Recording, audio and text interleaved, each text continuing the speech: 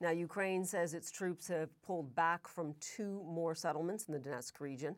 They both lie to the west of Avdiivka, which fell to Moscow's forces less than two weeks ago. Now, the Ukrainian steel maker Metinvest lost a major coal plant when that town was captured. Now, its coal mine is in Pokrovsk, the largest in Ukraine, and it is now just, remember this, just 40 kilometers, think of that, from the front line. Its steel plant, meantime, in Zaporizhia is also very, very close to the fighting there.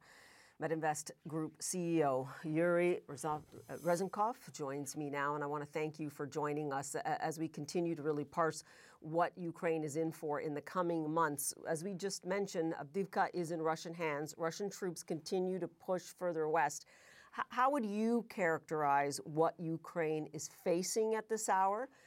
especially given your company. You know, you, you have thousands of employees on the front line right now, and your company is a strategic component of that Ukrainian defense. Good afternoon. Um, yes, that's true. Uh, it's not the easiest hour for Ukraine at the moment. And uh, obviously, even though everybody understood that we might lose Avdiivka for quite some time now, uh, this loss was uh, resonated in, in the population. and as you rightly mentioned, uh, this front line is literally 35, 40 kilometers away from our main operations.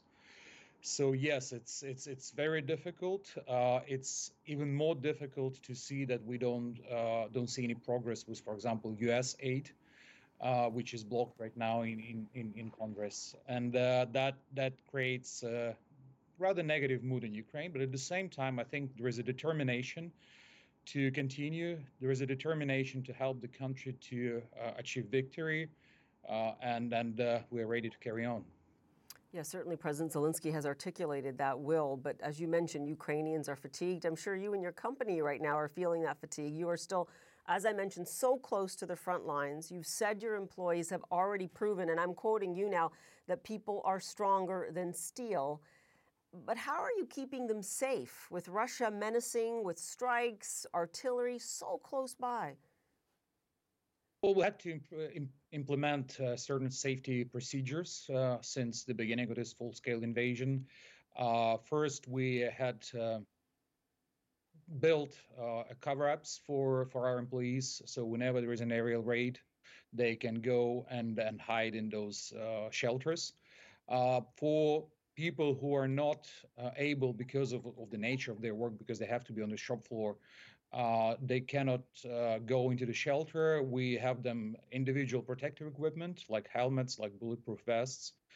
Um, so that that's that's the only way we can carry on operations. Uh, as you can imagine steel steel business it's a continuous operation so you cannot stop it and start it. Uh, uh, you'll be interested to know I am a former steel worker, and when you talk about trying to keep those blast furnaces up and running, I know exactly about what you're talking about, and especially as I said earlier, because it's so material to Ukraine being able to continue this war effort. I want to ask you though about that in terms of staffing shortages. Given Ukraine is talking about further mobilization, they need even more Ukrainians to fight. So how do you keep your business going under those conditions? It's it's true. It's it's a difficult uh, situation for most of the uh, businesses, especially those businesses that are dealing in transparent manner uh, and and uh, fully transparent to the authorities, like like Metinvest is. We have more than 99,000 our employees right now serving in defense forces of Ukraine, which is uh, I'd say it's almost 15% of our workforce right now. So yes, that creates a substantial difficulty. We are trying to to find a replacement. We are uh, arranging shifts so that people can uh, take uh, take some some extra time at work for for their colleagues who are in the front line. Uh, we also try to em- employ more women, and, and that also helps to uh, to sustain operations. But other than that, it is a difficult situation, and as the war will will continue, as more people will have to be mobilized, uh, uh-huh. drafted, uh, that difficulty is going to increase. And as That's I true. said, given the continuous operations, that if you want to keep these steel plants going, it really doesn't have to be continuous. You mentioned U.S. aid; it is now stalled, fatigue setting in, as you also mentioned with Ukraine, and perhaps even with European allies. I mean you guys had that company, Azovstal, that was that really iconic battle, very sad and horrific battle that happened at the beginning of this war. Given all that Ukrainians there and elsewhere have sacrificed, what do you tell Congress right now about what's at stake if Ukraine does does fall to Russia? It, it's it's it's very simple. It's the Ukraine existence of uh, Ukraine as a state and uh, Ukrainians as, as a nation.